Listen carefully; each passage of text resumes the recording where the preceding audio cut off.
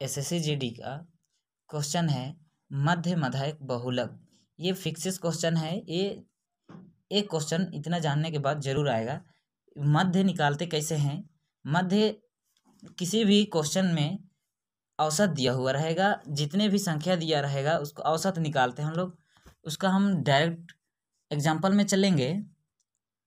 पाँच, पंद्रह, पैंतीस, पचास पचहत्तर। इसका हम मध्य निकालते हैं, जिसको हम बोलते हैं मीन। मीन ज्ञात करें। ज्ञात करें। तो इसका हम सबसे पहले सीक्वेंस कर लेंगे। पाँच, पंद्रह, पैंतीस, पचास, सत्तर। इसको हम ऐड कितना संख्या है? एक, दो, तीन, चार, पाँच। इसको हम बाई में लिखेंगे पाँच। इसको पूरा को हम ऐड कर देंगे तो कितना हो जाएगा? सत्तर, पचास, पैंतीस, पंद्रह, पाँच, एक सौ पचहत्तर बाई फाइव इसको हम डिवाइड कर देंगे, काट देंगे तो कितना होगा? थर्टी फाइव आंसर और एक निकाल देना चाहेंगे, एक एग्जांपल देना चाहेंगे आगे। सबको हम three five seven three eight five three five इसका औसत निकालेंगे three five plus seven plus three plus eight plus five plus three plus five by one two three four five six seven eight eight है। Thirty five by eight होगा। हम example के लिए लिखे थे तो नहीं कटेगा। तो इसको thirty by thirty five by eight में ही आंसर छोड़ देंगे। या तो इसको पॉइंट में भी निकल जाएगा, लेकिन ये नहीं कटेगा, इसीलिए थर्टी फाइव बाई एट ही रखते हैं। अब आगे चलेंगे। माधिका। माधिका। माधिका, इसको बोलते हैं मेडियन। मेडियन। अब मेडियन हम लोग कैसे निकालेंगे? सबसे पहले तो सबसे छोटा को लिखेंगे। इसमें हम इसका डिफिनेशन लिख देना चाहेंगे थोड़ा सा सबसे पहले शॉर्ट में लिखेंगे। सबसे पहले। छोटा से बड़ा में सीक्वेंस कर लेंगे, सजा लेंगे। सजाने के बाद लिखेंगे, हम एग्जांपल देना चाहेंगे ए बी सी डी ई इसमें हम लोग को माधिका क्या हो रहा है? सबसे बीच में देखेंगे, माधिका।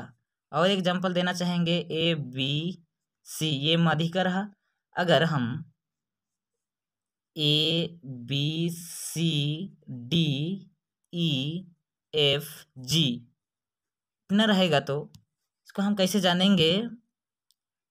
एक, दो, तीन, चार, पाँच छः सात, बीच में आ गया। अगर अगला देना चाहेंगे तो A B C D E F इतना रहेगा तो कैसे करेंगे? एक, दो, तीन, चार, पाँच छः एक, दो, तीन, चार, पाँच छः तो हम लोग दोनों को ले लेंगे और सी डी बाई टू करेंगे। ये होगा मीडियन समझ में आ गया होगा? आगे चलेंगे बहुलक। बहुलक बहुलक।